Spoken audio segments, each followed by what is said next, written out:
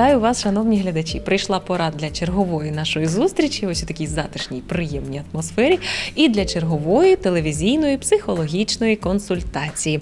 Її нам надасть Каріна Тиморська. Каріно, вітаю.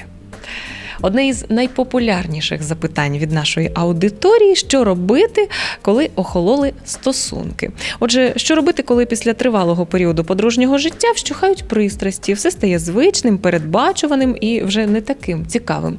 Взагалі цього можна уникнути, чи це природній процес? Це природній процес, тому що е, в принципі біологічно ми не є моногамними створіннями, і вірність це вибір, який ми робимо, е, орієнтуючись на наші цінності, на мораль, на норми поведінки у суспільстві.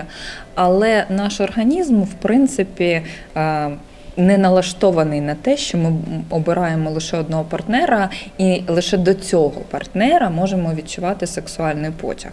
Тому, в принципі, це нормально, коли протягом довготривалих часу, коли ми лише з одним і тим самим партнером, то наше тіло може перестати реагувати так яскраво, як це було на початку стосунків.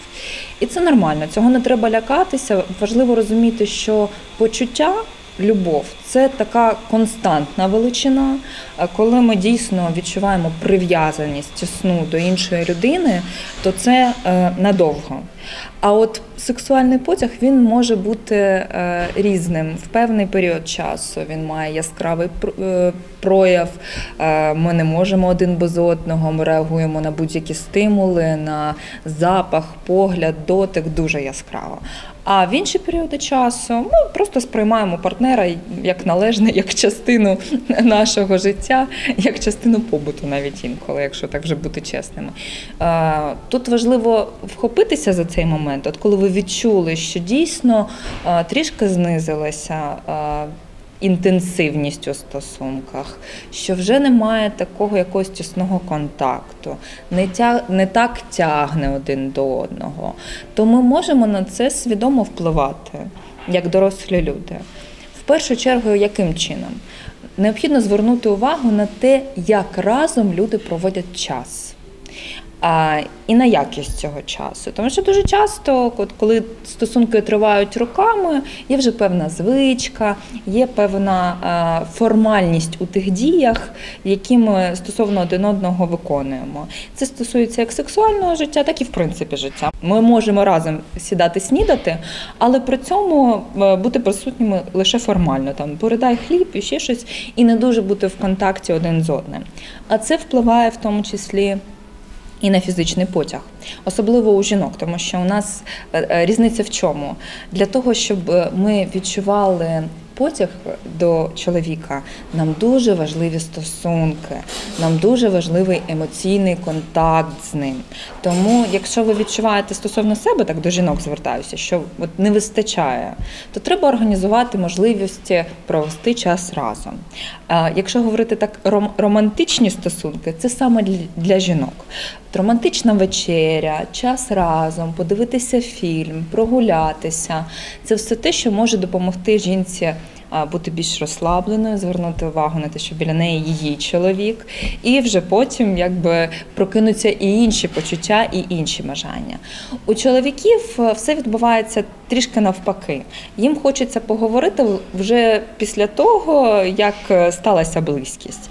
І чим е, більше і інтенсивніша близькість е, в сексуальному плані є у парі, тим якби спокійніше, вільніше чоловік буде е, говорити, тим більше він буде е, знаходитись в стані емоційного комфорту, і в нього буде бажання проводити час разом з жінкою. Тому ми тут дещо не співпадаємо.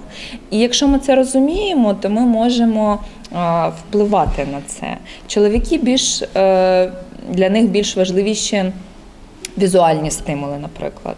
Тобто жінка може трішки змінити картинку, скажімо так, вийти за е, ті рамки звичного, в тому числі у подружньому е, ліжку.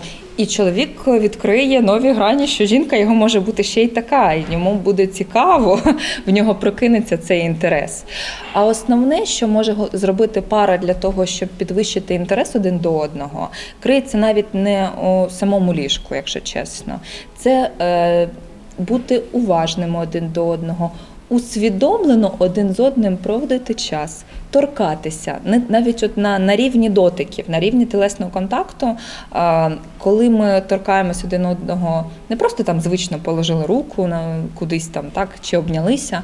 А коли ми дійсно ми хочемо доторкнутися, ми звертаємо увагу на те, як реагує наше тіло, ми обіймаємося свідомо, от саме тут, саме зараз, реагуючи на те, що відбувається між нами, неформально. Не обов'язково там я не знаю, їхати у гори чи знімати якісь е, апартаменти, в яких ви ніколи не були, для того, щоб оживити стосунки. Інколи досить дійсно звернути увагу і розвернутися до тієї людини, з якою ви разом прожили там якусь кількість років. Багато зараз є і медитацій, і е, способів з тантричного сексу, які не передбачають там безпосередніх сексуальних стосунків, але Підтримують сексуальний інтерес один до одного. Цього багато є в інтернеті, можна почитати, можна подивитися. Наразі навіть курси є різноманітні. Але основне це бажання бути саме з цією людиною, і щоб з цією людиною мені було добре у всіх планах. Тому що насправді фізичний потяг він мінливий, але він нам допомагає підтримувати наші стосунки стабільними, тому що чим більше ми переживаємо приємні е, моменти з конкретною людиною, чим більше е, ми переживаємо е, оргастичні почуття з конкретною людиною, тим більше прив'язаність між нами на фізіологічному рівні тому що ми реагуємо навіть гормонально, і це допомагає нам підтримувати оце кохання, прив'язаність, яке саме і допомагає нам жити довге, подружнє життя разом і залишатися щасливими. Ця сторона нашого життя є важливою, на неї треба звертати увагу і не завжди очікувати, що все буде якось само собою.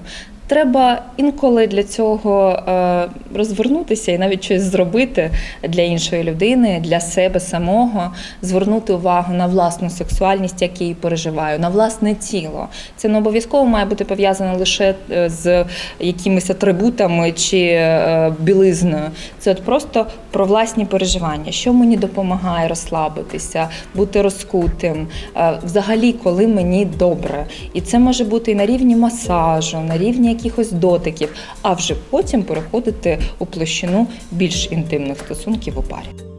Ну що ж, хочеться побажати нашим глядачам, щоб стосунки приносили якомога більше позитивних емоцій. До речі, у наших наступних сюжетах ми обов'язково ще поговоримо, як же розвивати і покращувати стосунки. Ну а в перипетіях життя нам допомагає розібратися сімейний консультант, психолог Каріна Тиморська.